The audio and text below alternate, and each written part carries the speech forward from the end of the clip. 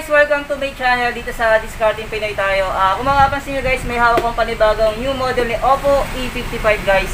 Ngayon guys, bago po kayo bumili o bago kayo kumuha ng installment o kakasya o home credit, panoodin nyo mo po na itong video ito kasi i-review ko po siya, i-unbox ko po. Ano po?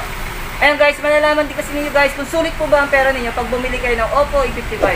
Ayan, simulan na natin. Pero bago yan, syempre, huwag nyo makakalimutan mag-like and subscribe sa channel natin. Tara, unbox na natin daw! Yung guys, unbox na natin siya. Ito pa. Kung makapansin nyo guys, yung pinaka-table natin guys, nasa, nasa ano po tayo. Nasa aircon po tayo sa ibabaw. Ayan po, hiramin muna po natin yung space ni Extreme. Ayan guys. Ayan po, uh, buksan na po natin. Ano ba yung mga laman ng box ni Oppo E55? Ayan guys, meron po siyang tinatawag na SIM injector and then syempre, ito po yung warranty card, saka warranty, manual, specs po yan. Ano po. And then may kasama din po siyang case, ano po, jelly case po, ayan po. As usual, may kasama siyang jelly case. Ayan guys. And then, ito na po si Oppo E55. Ayan. Check natin guys kung anong kulay. Uh, ang kulay nga po palang available na meron tayong hawak ngayon ay yung tinatawag natin Starry Black. And then, meron pa po siyang isang kulay guys, yung tinatawag na Rainbow Blue. Ayan po. And then, nakapansin niyo po, naka triple setup camera siya guys. Uh, ito yung pinagmamalaki ni Oppo ngayon na nilabas nila. Naka 50 megapixel and then 22 megapixel. Ayan po. Sa triple setup camera natin. And then, yung pinaka fingerprints po niya guys, yung biometric natin guys, side mounted pa rin po siya.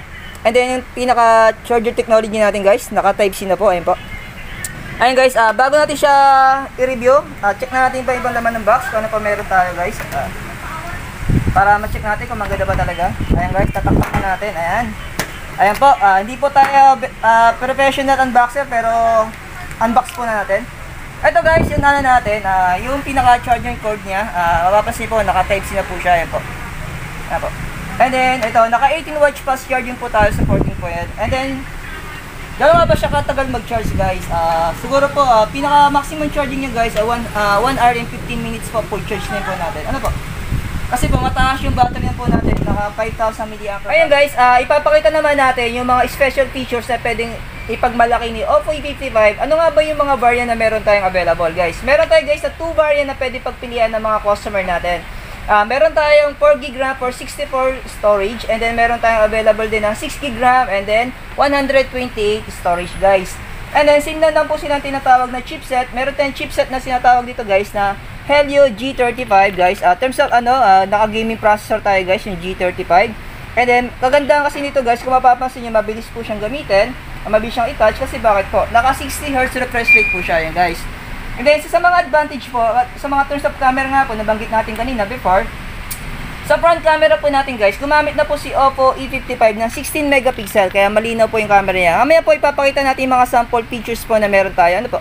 Ilalagay natin po dyan sa screen. And then, sa back naman natin guys, meron tayong 3-4 setup camera, which is gumamit na siya ng pinakamataas na camera na 15 megapixel, pala supporting siya ng 2 cams, na meron 2 megapixel for depth lens, and then meron micro lens to 2 megapixel din siya guys. Ayan. And then mapapansin nyo po yung kulay, ah, gaya po nabanggit ko kanina, available na kulay natin guys, ah, starry black and then pero po tayong blue rainbow guys. Ayan, ilalagay ko na lang po sa screen yung mga available na kulay na meron tayo. And then, ano ba yung size ng screen natin guys? Naka 6.5 inches na tayo and sa resolution natin guys, supporting siya guys, na tinatawag nating uh, HD+. Ayan po, nakikita nyo naman po sa screen, ayan guys. And then, maganda nga ba siyang gamitin guys? Uh, yung pinaka, pinaka ano guys, guys, gumamit tayo ng IPS. Ano po? Tapos po yung pinaka fingerprints po natin guys, side mounted po siya. Ayan po. Ito po siya, naka G3 na rin po siya guys. Ito. Eh, nakapansin niyo po, naka-curve na rin po yung design ni Oppo. Sobrang ganda. Guys, uh, actually maganda talaga siya in person, ano. Uh, ayan po. Uh, di ba, yung ganda siya, no, pre? And then, gumamit din pa rin tayo, guys, na tinatawag natin trigger slot. Pakita ko lang po sa inyo. Ayan. Ilagay natin ng SIM. And then, with memory card siya, guys, pwede siya lagyan. Hanggang 256 gig, guys. Ayan po. Ayan po, guys. Ayan. Uh, SIM 1, SIM 2, and guys, size, uh, ito yung pinaka-memory card. Naka-trigger slot po siya, po. And then, syempre, habi ko nga po, pinangako ko, ilalagay po natin yung pinaka-features ng camera para kukuha pa kami ng mga sample gamit po tong cam. Ano po? Tara, simulan na natin. Uh, kukuha po tayo ng model, kung sino po yung mga pwedeng model natin guys, ayan. Guys, kung gagamit po tayo ng 50 megapixel pag gamit natin si Oppo guys, uh, ayan po. Sa setup po natin siya ng 15 megapixel, ayan po. And then, thumbs up camera, subukan na natin. Ayan guys, uh, kakat ko na po itong video ito guys kasi ilalagay ko na lang po sa screen. Ano po?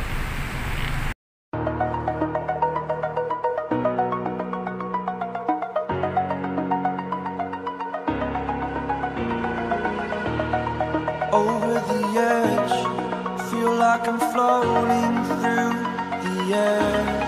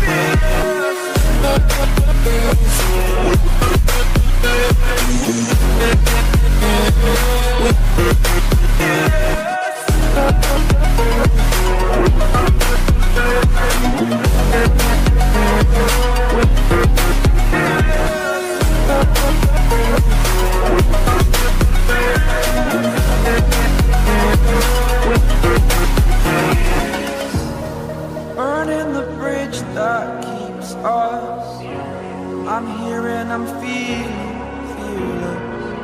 Exaggerated, that's what you assume. The story.